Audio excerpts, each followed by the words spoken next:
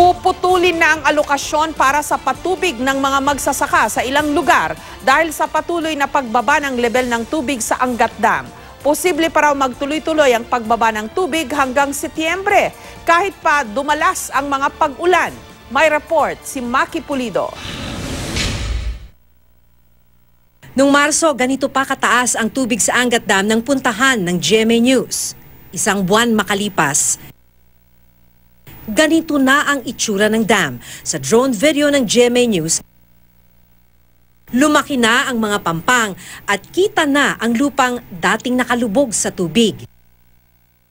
Kung nung Marso nasa mahigit 198 meters pa ang taas ng tubig sa Angat, nang puntahan ng GMA News kahapon ni hindi umabot sa pinakamababang linya sa sukatang ito ang tubig. Naitala ang water level noon sa 178.9 meters. Ngayong unang araw ng Mayo, bumaba pa lalo at nasa 178.38 meters na. Ang minimum operating level ng Angat Dam ay nasa 180 meters. Yan yung marker na palatandaan ng level ng tubig ng Angat Dam. Pero hindi mo na nga raw kailangang tignan yung marker para malaman ang pagsadsad ng level ng tubig.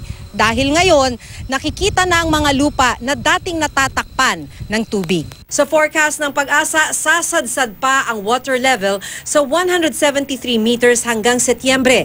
Kahit kasi may inaasahan ng ulan itong Mayo, hindi pa nito kayang punan ng inilalabas na alokasyon para sa tubig ng Metro Manila at ilang bahagi ng Rizal at Cavite. Yung trend ng angkat is patuloy siyang bababa hanggat wala po tayong nararanasang pag-ulan. Dahil mas mababa na sa 180 meters minimum operating level, tigil muna ang alokasyon sa irigasyon simula May 16. Kung kailan ito babalik, depende na kung kailan babalik sa normal level ang dam, sabi ng National Water Resources Board.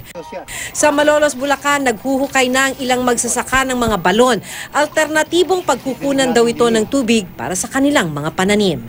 Pero bago pa man itinigil ang alokasyon para sa irigasyon, ang mga taniman sa kalumpit, tuyot na. Sa Angat din ang gagaling ang 97% ng supply ng tubig sa Metro Manila.